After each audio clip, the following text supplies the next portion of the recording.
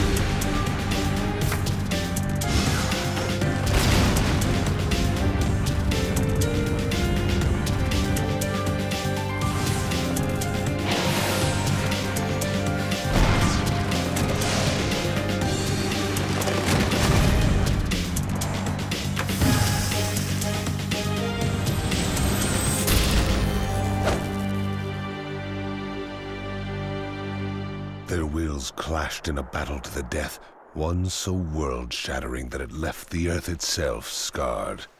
And then, Madara